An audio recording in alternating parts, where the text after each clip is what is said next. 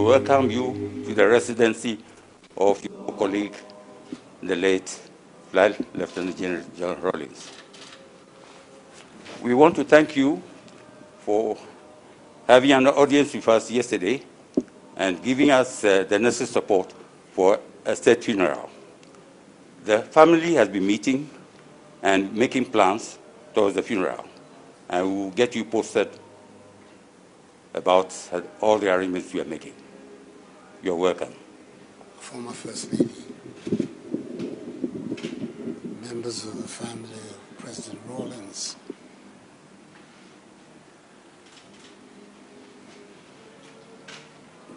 my presence here is for obvious reasons.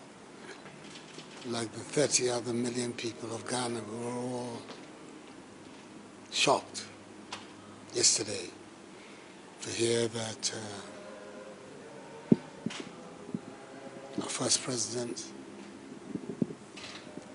has gone to meet his maker.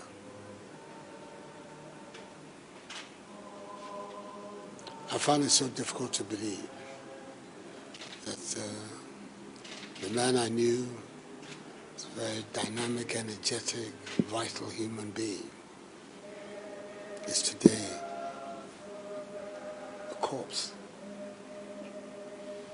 But then it's an experience that will come to each one of us in our turn. The Almighty's own ch- choosing. It's not our choosing, it is of His. So when I heard the news, I had the Chief of Staff make contact with you to let you know that uh, who he was, position that he occupied in our nation, and his contribution to our country, development and history, his obsequies, his departure, has to be the responsibility of the Ghanaian nation. They are going to be writing volumes and volumes about his contribution to Ghana.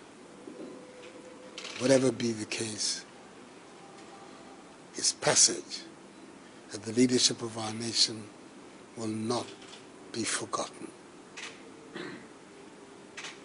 So I let the Chief of Staff indicate to you that I felt it was also appropriate that the formal announcement of his death be that of the responsibility of the President. And it's on that basis that I announced to the country his passage. In the evening, you sent a delegation involving Colonel Abutui, Aguji, your eldest of your children, and the others to come and officially inform me. I indicated then again that whatever arrangements are going to be made going to be the arrangements of the state of Ghana. We have to make sure that this man is given a befitting state burial. His contribution to our country is enormous, many, many, many grounds. And our nation must show its true appreciation of his work and output here in Ghana. So, wanted the Chief of Staff to liaise with whoever you designate for us to start to think about how to go forward on his burial.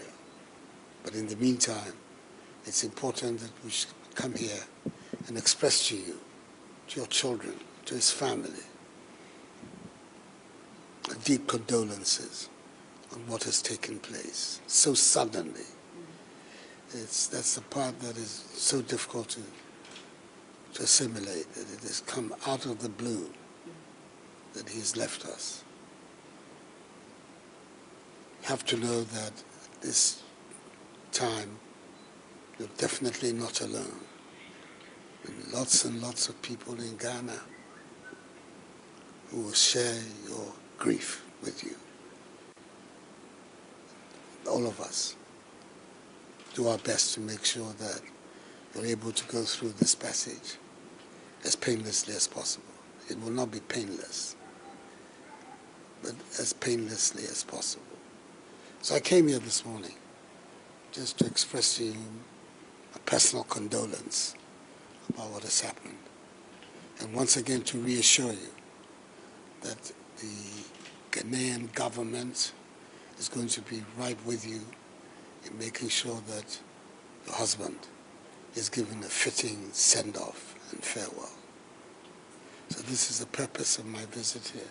And I'm here, as you can see, with the Vice President, his wife, the Second Lady, Chief of Staff of the Office of the President, the Chairman of our party, the New Patriotic Party, my own brother is here as well, and our Ambassador in China, as well as the Deputy Chief of Staff in my office, National Security Advisor, General Autry, all came together to come and express our sympathies and condolences to you, your children and family.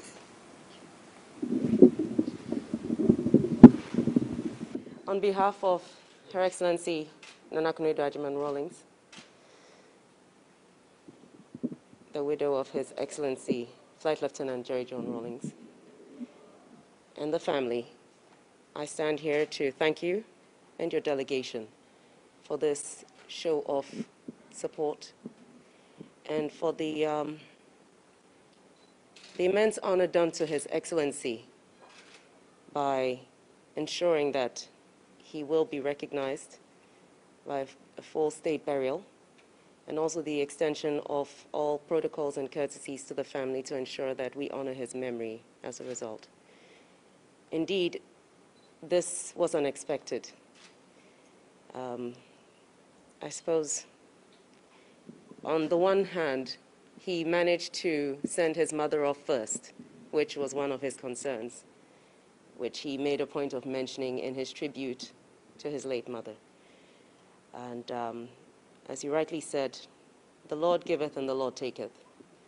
And we cannot comprehend the reason why, but we do have to understand that this is the reality of our lives. It may not be today, it may not be tomorrow, but the certainty is that death is something we all have to live with at some point. We have to face.